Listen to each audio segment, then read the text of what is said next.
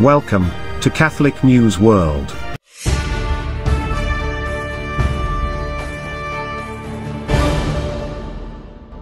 Welcome to Catholic News World.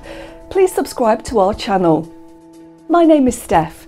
Here are this week's breaking news headlines. Three nuns and a seminarian were kidnapped along with their driver in Imo State, southern Nigeria, Africa. According to a memo from their congregation, the nuns belong to the Missionary Daughters of Mater Ecclesiae, a religious institute in the Diocese of Abakaliki, Ebonyi State, while the seminarian belongs to the Missionary Sons of the Most Holy Trinity. The five were captured on October 5, along the road to Mbano on their way to the funeral of the mother of one of the nuns. When reached via telephone by Fides agency, the missionary daughters of Mater Ecclesiae said they currently have no further information about their sisters and the other abducted people.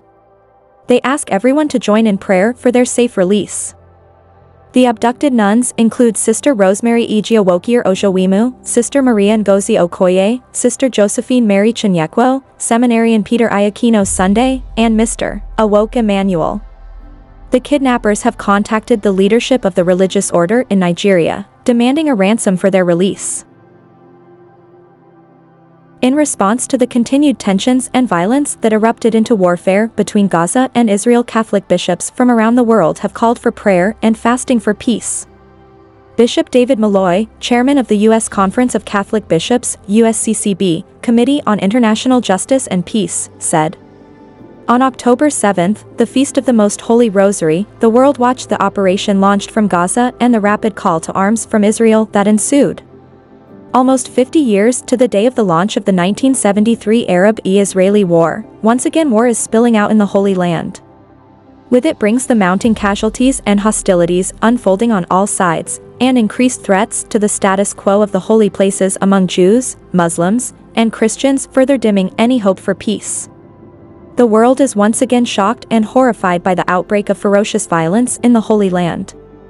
Reports have surfaced indicating large numbers of wounded and dead, including many civilians. I join with Pope Francis in his call for peace and his condemnation of this widespread outbreak of violence. As he stated in his Sunday audience, may the attacks and weaponry cease. Please. And let it be understood that terrorism and war do not lead to any resolutions, but only to the death and suffering of so many innocent people. May all who love the Holy Land seek to bring about among all the parties engaged in the fighting a cessation of violence, respect for civilian populations, and the release of hostages. As we pray urgently for peace, we recall especially all the families and individuals suffering from these events. We call on the faithful and all people of goodwill to not grow weary and to continue to pray for peace in the land our Lord, the Prince of Peace, called home.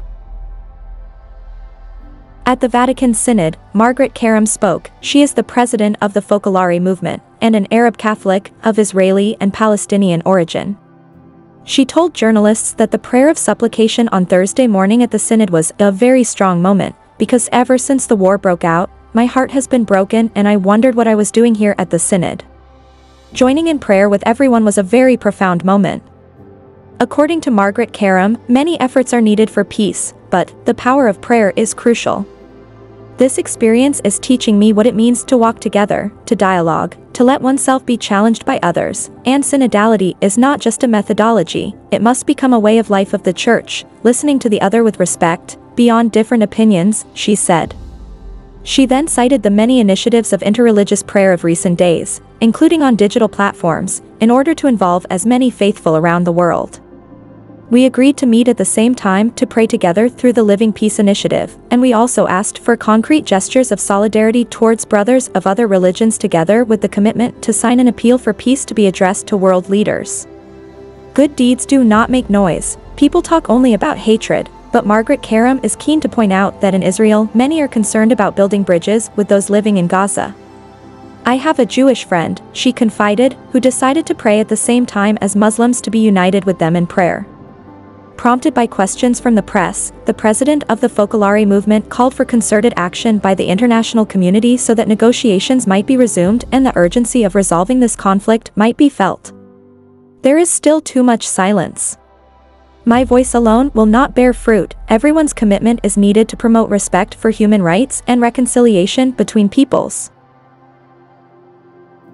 The Hamas surprise attack left 1,300 dead in Israel and at least 1,900 people have been killed by Israel in retaliation strikes aimed at Gaza. Several thousand are injured on both sides of the border.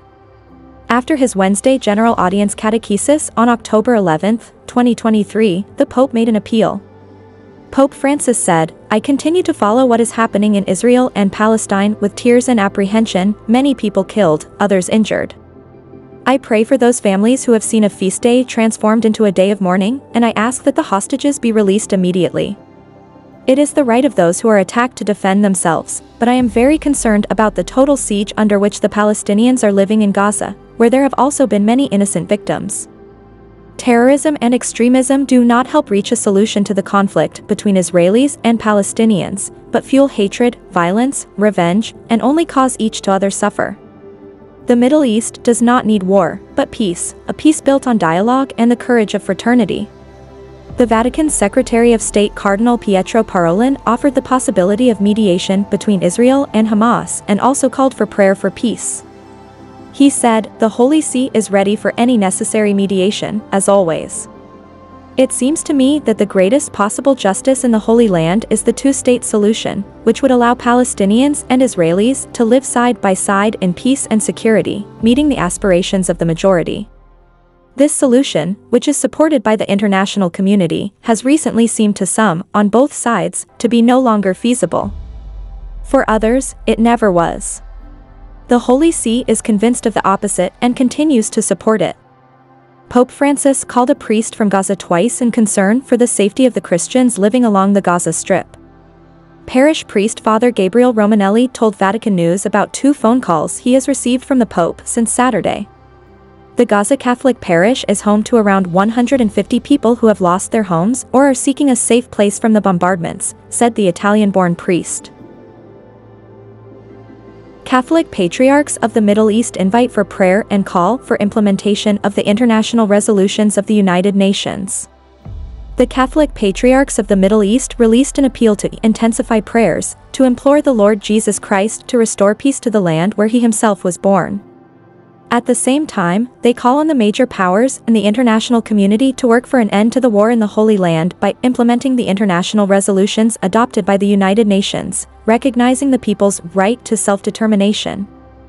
In addition, the Latin Patriarch of Jerusalem, Cardinal Pierbattista Pizzaballa, on behalf of all the Catholic bishops of the Holy Land, invited all parishes and religious communities to a day of fasting and prayer for peace and reconciliation. We ask, Cardinal Pizzaballa wrote in the letter he signed as president of the Assembly of Catholic Bishops of the Holy Land, that on Tuesday, October 17, everyone observe a day of fasting, abstinence and prayer. There should be moments of prayer with Eucharistic adoration and recitation of the Rosary to the Blessed Virgin. Watch our programme every Friday at 7.30pm. Thanks for watching. Please subscribe to Catholic News World channel. God bless.